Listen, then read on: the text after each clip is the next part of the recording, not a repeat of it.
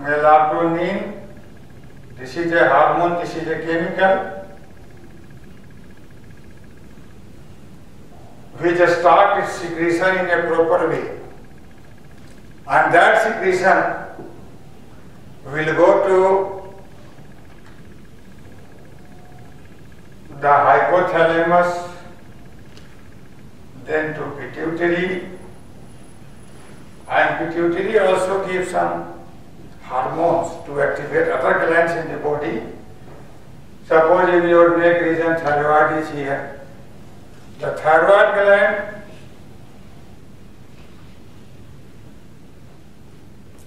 secretes thyroxine hormone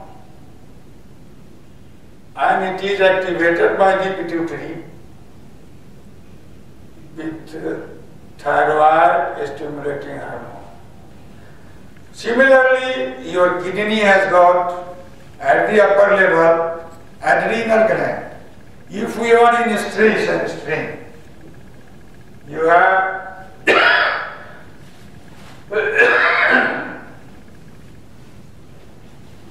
this is the adrenal gland.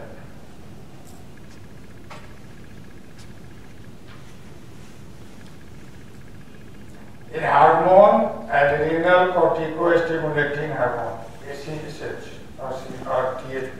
Huh? This hormone activate your adrenal gland to secrete a hormone epinephrine. And that epinephrine, in order to make you normal,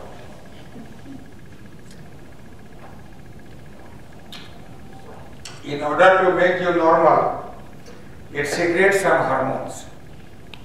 Meaning thereby, your entire body is under the control of certain hormonal actions. And that hormonal actions can only be regularized with the help of yoga, respiratory exercise, and meditation. So, what is the science behind this meditation? We put some molecular thoughts to this portion. That thought in the form of certain energy bond reacts with the glandular portion of the pineal and energize this gland to secrete melatonin and to energize the brain itself. As I have told you, only 75% portion of the lung is correct, only 25% in use. Similarly, only 13% of the brain is in your general use. The remaining 87% is rest. So, on that basis, people say conscious and subconscious mind. Conscious mind includes only 13% and subconscious mind includes 87%. So, after ener- energizing the pineal gland, the pituitary gland, the other gland in the body, the brain start emitting energy and that energy can go outside the skull just like your electronic just like your supercomputer you have got so many files in your computer similarly we have so many files in our brain that runs automatically that never needs your button of the computer so 87% file Suppose 100 file is there, 87% file is already closed. So you have to open that file. By energizing the cells of pituitary, by energizing the cells of brain, by energizing the other cells in the other glands. So meditation is a must to maintain a healthy life. Suppose your thyroid gland is not working. Why it is not working? Because thyroid contains iodine rich compound. Iodine is trapped by your food materials like iodinated salt, etc. But the gland is not working, so you are not able to regulate iodine in your body. What will be the effect? You may have got developed this gland as a water. You may have lose your intelligence because the thyroid hormone is able to guide you all the metabolic activities including intelligence. Similarly, because the time is not much here, we have got uh, this land. Suppose you are able to take the pranayama, that is breathing exercise regularly, you will be able to open all the chambers. And if you will be able to open all the chambers, definitely the oxygen taken through this route will enter here, oxygen will be exchanged here. So if all the chambers are in function, then maximum oxygen is absorbed by your body. And if maximum oxygen is absorbed in your body, it will be able to generate more and more energy. That's why that energy is regulated by meditation how to control the pineal hormones, to control, to energize, to regulate the pineal body in a particular desirable direction. And uh, in that very direction, the wave given by the pineal body, the wave given by the brain tissue, will also look after your internal organs.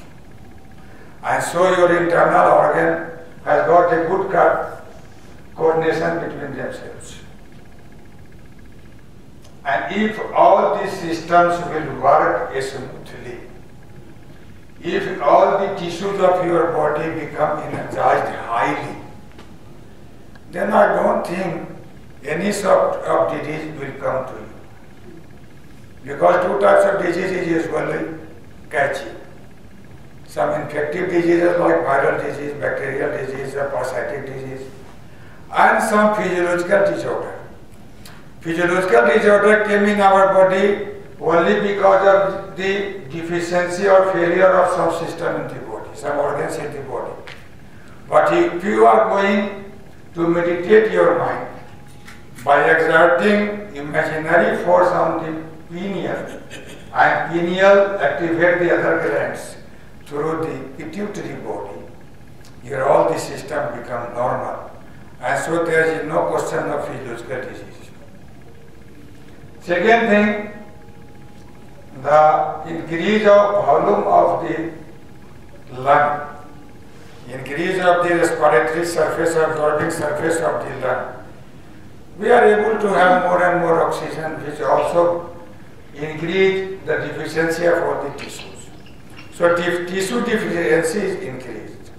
It is because of pranayama which you call respiratory exercise the efficiency of all the glands will be increased due to the activity of the pineal. And by certain research, we have come to know that the pineal is able to emit energy wave more fastly than the speed of light. That is why in the older time in the ancient time, so many saints at the global level has got such a energy that he can see your future. Why? Your satellite, a very simple thing, established in the orbit outside the earth. They gave you the information about the weather, that within 48 hours there will be heavy rain, within 48 hours there will be snowfall or not. So if uh, our brain emit more bigger, bigger wavelength in the environment, then our brain must sense the future. Similarly, the brain may sense the past also. So that when you come to, I would like to say you, try meditation, try respiratory exercise, try to evoke early morning when good quantity of oxygen will be taken by you. And for example, I want to tell you only two examples. The radar system in army, you must have heard the radar. The radar machine emit wave to longer distance, thousands of miles, so that to get detect from where the plane of enemy is coming for the alertness of our army. Similarly, you must have watched bat. Bat is a flying mammal. I don't know the local name of the bat, but it is a flying mammal. Usually it hangs, taking its head toward the earth. Why? because it has got a dark organ in its mouth. So that organ is also prove the pineal power. From that very radar organ, again the longer wavelength senses are received by that particular animal. And I think on that very basis, the radar machine was invented. so it is also in the animal. I, I was, I think in 70s working on the Tasar silk insect. The larva of that insect which provide us silk. They sleep for eight months in the cocoon stage. For the eight month from where it receives its food. What is the mystery behind it? You know reptiles like snakes and lizards, they also hibernate during winter season. They don't take their food. They go inside the soil in search of warm atmosphere because they are cold-blooded, their body temperature variable. That's why in order to save their life, they go inside the soil. For two months, three months, it is depending upon the duration of the winter. So, how they maintain themselves there? I think it is also related to meditation. I don't know the language of insect, I don't know the language of reptile, that's why I cannot talk them. But I can presume that there may be something meditation-like exercise among them which give much and much energy without taking food. And researches are going on in an institution situated in North India. The name of the institution is Brahmavarchas. There are so many scientists are working on these lines. And according to them, during that hibernation period or during the meditation period, one molecule of uh, glucose will give you energy to survive for six hours. So a little amount of food is enough for the survival or not. So meditation is thing. So I stress upon that. This is the scientific interpretations. Now you hear Didi, the practical demonstration of the yoga. Thank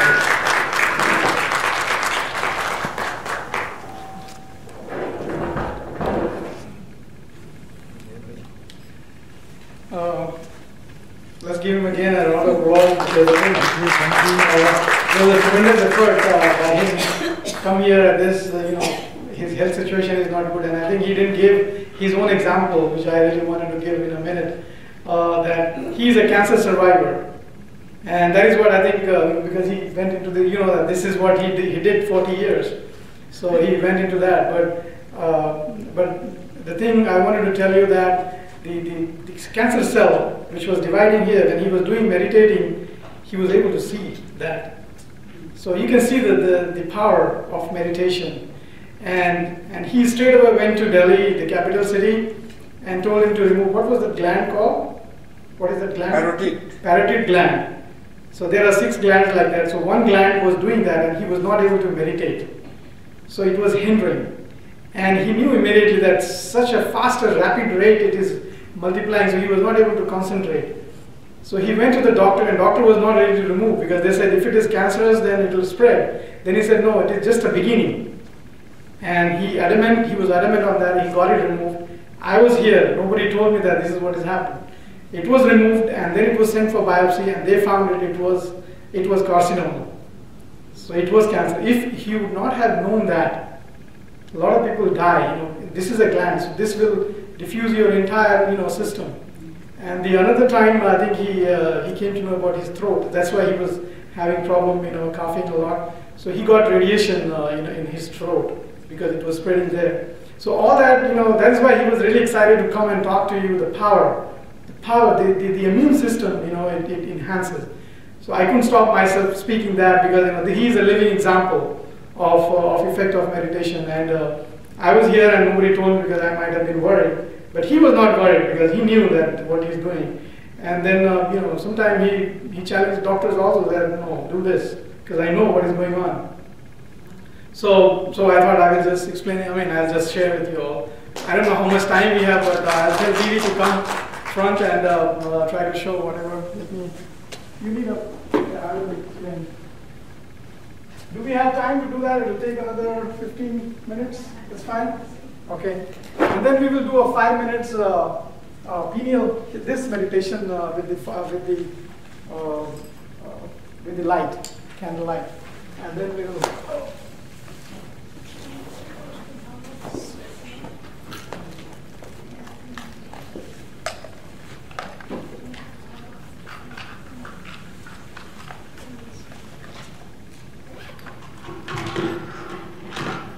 Mic to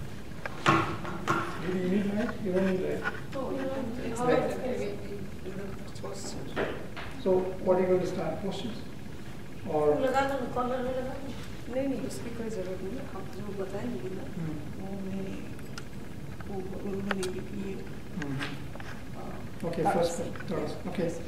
Okay, now she is going to, you have a brochure. So before that, I just wanted to tell you that uh, don't just go and start doing it. You have to first get it, check yourself physically whether you are, because there are a lot of bendings and, you know, so before we start yoga, we just first loosen all the joints.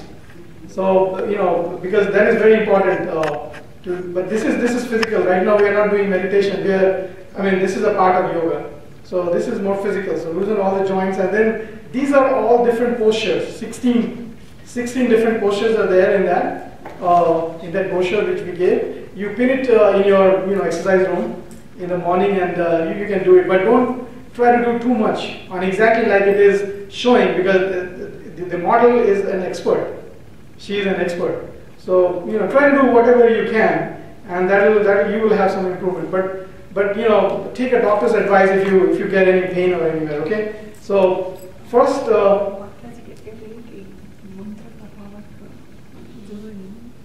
yeah, mantra om. Yeah, Mahima Gopala. Okay. So the first position is called Tadasana. Tadasana. And doing that, you have to say a mantra called Om Bhuva. Om Bhuva. Om Bhuva. So this is like a stretching stand or with the feet together. Inhale and raise both the hands above the heel as well as lift the heels and gaze at the sky. Slowly go into the position of Tadasana. Tad means tall, like you to stand tall. Weakening, uh, weakness of the heart, impurities of blood, and cons- constipation can be eliminated through this practice.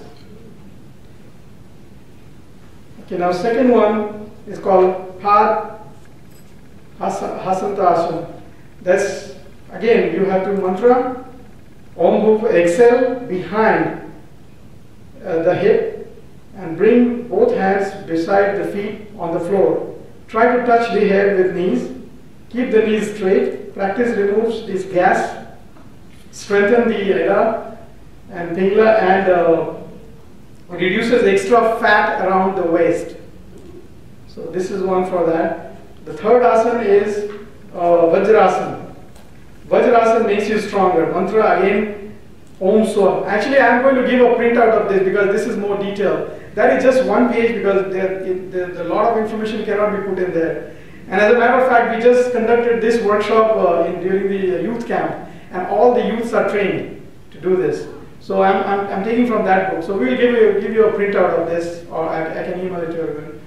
So the third is uh, you're doing uh, Vajrasana, right? Mantra again uh, is Om Swa. It's a very simple mantra, and mantra also relates to the sound, you know, sound energy, vibration. So that's why it is, it is necessary. Sit in the Vajrasana, fold the knees and make a seat with the feet.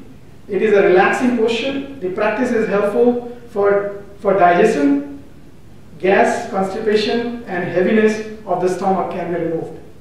The fourth is uh, Uttra, Uttanasana. Ustra, sorry, Ustrasana. So mantra is Tat. Just Tat. Lift the buttocks and try to bring both the hands, soles, and uh, of the feet. Come into the position of Uttarasana with inhale, inhalation. Open the chest and gaze at the sky. Through this practice, heart becomes strong and uh, get energy along with the spine. Practice this will help in getting relief from hernia, backache, and asthma. The fifth asana is yoga uh, madhurasana. Madhurasana is just like peacock. You know, madhur means peacock. So like a peacock, madhur, uh, she exhale. Savitur is the, uh, is the mantra. And sitting in the vajra, uh, vajrasana and behind forward while raising the hands behind and back. And yoga mudra. Try to touch the forehead onto the floor. This practice activates the Manipur chakra. Manipur chakra is this way. Here. So one of the chakras, we, we didn't talk about chakras today because it's really very long. The sixth position is Andhra Tadasana. An, uh, Adhra Tadasana, this is half. Ardhatara. Huh? Ardhatara. Yeah, Ardha means half.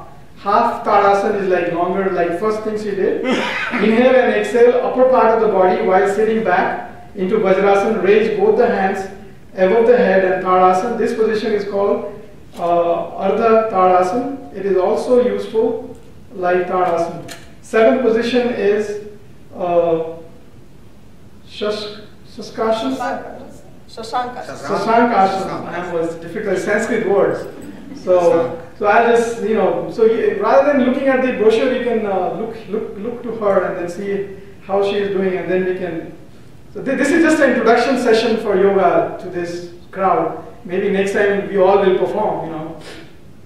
So this knees and same position, inhale and bring our upper part of the body forward with the chest open.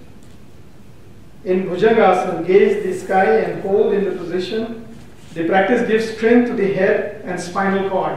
Just like a snake, you know, like uh, you see the king cobra st- stretches like this, just like that. Ninth position is Triyank Bhujangasana, left. Mantra Dhimahi. Be the position like that for Bhujangasana and exhale.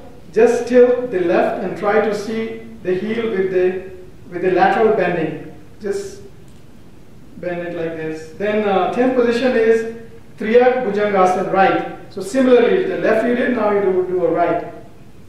Okay, now the uh, next one is, the 11th position is Saska, what is that? Sas- Sasakasana. Shashanka. Sasankasana. Mantra Yoga. Keep the hands and knees at the same position. Bring the body back again and go into Sasakasana with exhaling the, uh, the oxygen. Uh, tenth asana is Ardha Tadasana. And Mantra Prachodya. Raise both the hands while sitting in Vajrasana and come into uh, Ardha Tadasana with inhaling. You know. And then uh, 13th position is uh. Utkatasana. Utkatasana is like sitting onto just like this and uh, raise the heels into this squatting position. And the practice strengthen the calf muscle. You know, sometimes we, we get a stretch on our calf muscle. This helps. And then 15 position is Par Hastasana. Mantra Bhuva, bring the, this sole of the floor, lift the buttocks and, uh, and come into the position of Padhastanasana while keeping the hands beside the feet. This is very tough. I think she performed it.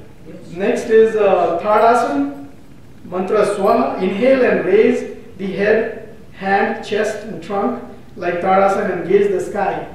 Look at the sky. Six, uh, 16th position is exhale with chanting Om, bringing the hands down with making making fist have feeling of strength and energy. So that is that is the feeling. So this is the one set. So normally they do three sets, but she's going to show only today one set, and after that you want you want to show some uh, savasana, right? एक बार ऐसे करके दिखा दीजिए मैंने एक बार जल्दी जल्दी करके दिखा दीजिए No, no, okay. No, no, no, there is no time. No, no, So you just do a savasana, and you all can uh, can follow her. Just close your eyes. They can do it while sitting, right? No, no. Huh? They can follow you. Yeah, you can-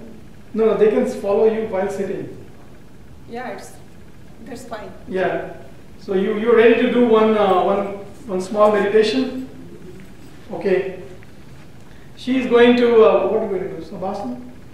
Savasana. नहीं अभी क्या करने जा रहा है अच्छा लोम विलोम अभी क्या करने जा रहा है फाइव मिनट है ना फाइव हाँ आपके टाइम है हाँ तो ये सवास सवासन ही कर सकते हैं ठीक है लोम विलोम बताएंगे क्या अच्छा ये एक प्राणायाम Okay, कर सकते हैं yeah. Just do one pranayam. It's a respiratory, uh, like Dad said uh, about the lung, how to increase the capacity of lung. So this is one of the exercise, and I think you all can perform that. So just follow her and uh, do it mudra like this. This is called mudra. You, you can sit there and do it. Just So like, just like, like this, yeah. yeah. And uh, Close close your uh, right nose right nostril. and inhale left nose. You can put your hand like this also if you. Liquid will stop your breath and close your right nostril. And take right nose. Inhale. Inhale. And stop that. And Uh, stop Close the both the nostrils. And release exhale. This is the one cycle. You can do five cycle. Again, take inhale, left nostril. Close your nostril. And exhale, right nostril. Again, take right nostril, inhale, close nostril, and release, exhale, left nostril. This is second cycle. Third cycle, inhale, left nostril, close, and release. Right nostril, exhale. Again, inhale, right nostril, close, release. Left nostril. This is third cycle. Fourth, inhale, left nostril, close, and release right nostril. I'm, hearing a lot of sinus, so that will be clearing it up. Inhale, right nostril, close, exhale, left nostril. Last cycle. Inhale, left nostril, close, and release right nostril. Same way. Inhale, right nostril, close.